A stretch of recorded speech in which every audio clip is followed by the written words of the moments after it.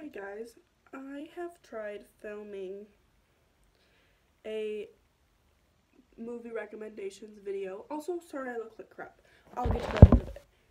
Oh my god, that's a movie recommendations video three times all today, and I've just given up. I mean, I'm gonna do it later today. Maybe. Maybe I'll film it tomorrow. But for today, I wanted to do a kind of late because school started a few months ago. What's in my backpack? Um, but I think that it's better to do these like later on in the year because the first day of school, your backpack looks the best and everything in it just looks so great. You know? And that isn't always accurate because sure as hell in a month or two everything's gonna be fucked, completely fucked.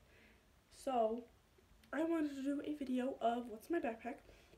Also because I, I want to do it now also because I have such an adorable backpack.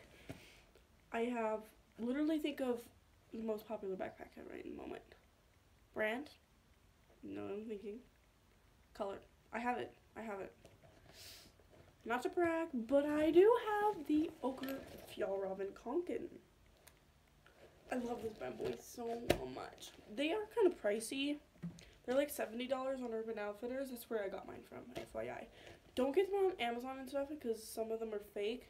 And although they are like 15 to $20 cheaper, don't get them from there.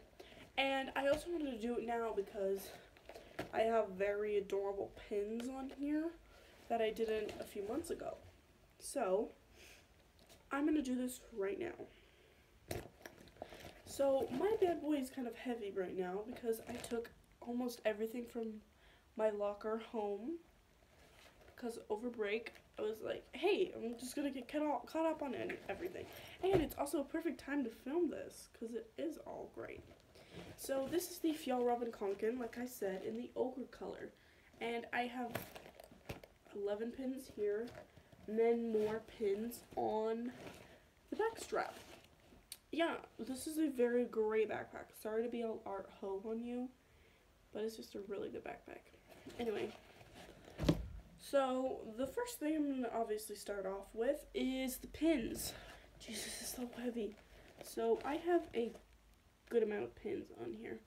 Now, all of these come from Plato's Closet, except, oh my god. All of these come from Plato's Closet except for a few. I'm going to just scoot up closer, actually. So, this is a little rainbow from Plato's Closet. Oh, this little, uh, palm tree looking leaf thingy comes from Wish. All of these you can get from Wish, I think, actually. Um, this one is like a little flower. It says yes or no. And then this is a little vintage car that reminds me of Grease. This is a little doggo. Um, if they're all from Plato's Closet unless I say otherwise. This American flag is from the dollar store.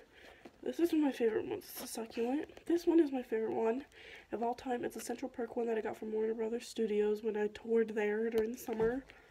And there's a little rollerblade and a little bear holding a pump, holding a banana. And then Ariel.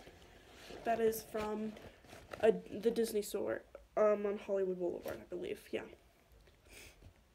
I think there's a. I know it was on Hollywood Boulevard. Anyway. And then on the back, some of these kind of need to be updated, but I have a McDonald's pin. Don't ask why, but I, yeah. And then I have one that says Eek that I got from Target Dollar Spot, and I kind of need to get a Christmas one to replace it, but you know what, whatever. And then I have a Student of the Month pin that I won because just so great. So, I'm going to start off with this side. I'm not going to, this is open. I'm not going to go into what is in my pencil case, but this is a pencil case shaped like an eyeglass thing. It's tin, it's, it's metal, it's solid, it's not the cutest pattern, but I got this from Daiso when I was also there. And it's super cute. My parents are fighting, but that's okay. Let's not listen to that. Uh, this is 150 and I really like it. It holds everything I need. It's small and compact. And then if you open up the bad boy front pocket, I have one of these things with hair in it. That's that's gross. Um, I have like a little mirror brush. Let me blind you. Look, you can see my Polaroid. Can you see anything else? Oh my god, whoa. Uh, I'm sorry, I'm so fascinated by this. I keep this in my backpack because, you know, your hair gets nasty, then it gets nasty. Deodorant, because if your pits get nasty, then they get nasty. Okay, this is kind of weird, but I have this little thingy. Um, just Little Caesar. I've never used it, thankfully. And then I have my handy dandy Carmex. Literally all you need. I have some gum wrappers. Since while I'm here, let me just throw these away. Anyway, I'm gonna put all these back away now and then we're gonna get into it. I tried to film this video a while ago and it was too long, so I couldn't upload it, which is very sad. Like six minutes I haven't even gotten into it. Okay, let's open this bad boy up. You guys all seen it, so I'm not gonna show you.